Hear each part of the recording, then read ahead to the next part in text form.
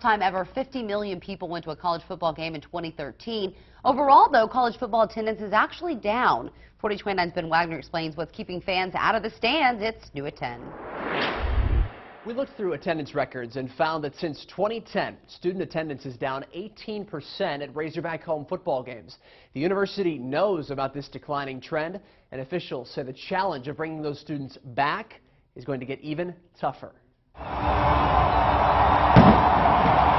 Razorback roar in the student section crowd at home football games has been softer in the past few seasons. A troubling trend for the U of A athletic department. Does that downward trend or at least a flat line worry the university at all? It does. It does. That trend, and it's not just here in Fayetteville, it's national. We looked into turnstile statistics, not just ticket sales, but the actual number of students walking into games. Those numbers show that in 2010, the average attendance was 4,095 students at each game. By the end of 2013, the average was about 3,300, an 18% dip. If I can relax and enjoy it, then I might as well just do that. Chris Rouse is part of a growing number of fans nationwide, opting to stay home and watch the game on TV rather than buying a ticket. Last season, overall average attendance at Division 1A football games dipped to its lowest level in a decade. I still try to get around the stadium as much as possible, but I just haven't gotten a chance to go as much as I'd really like to. Jordan Jenkins. Watching sports on TV isn't new by any means, but access to games has changed. The university says with several games now on cable and mobile phone apps, the traditional student fan is different than it used to be. I think it was more part of uh, the older demographics culture to grow up and go to sporting events. They didn't have the options.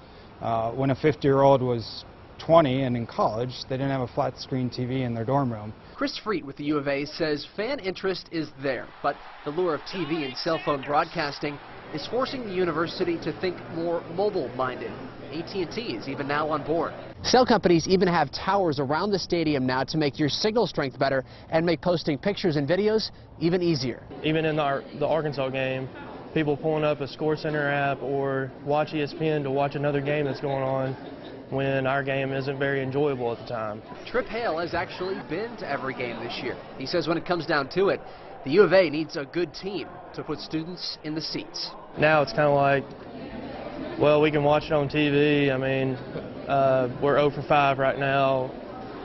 Hopefully we'll win today.